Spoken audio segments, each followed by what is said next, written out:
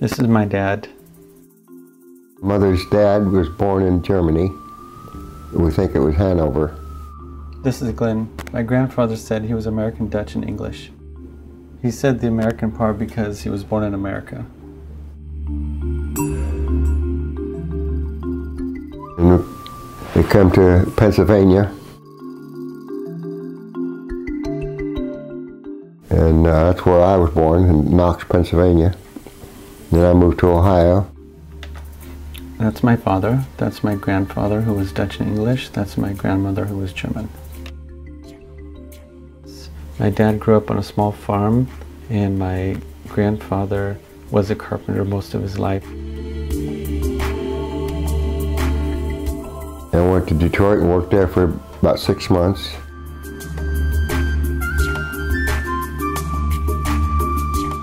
Come back to Ohio.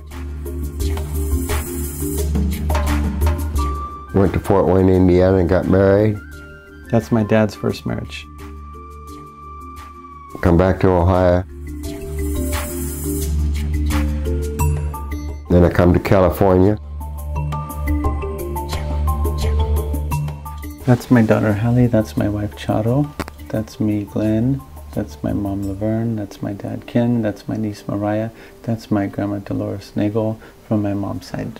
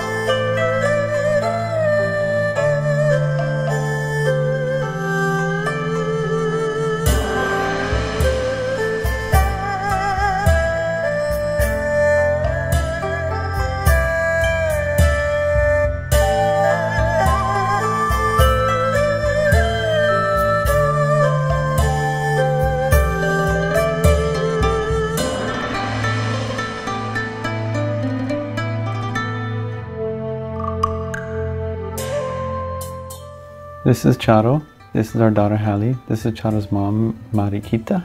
This is Charo's older brother, Carlos.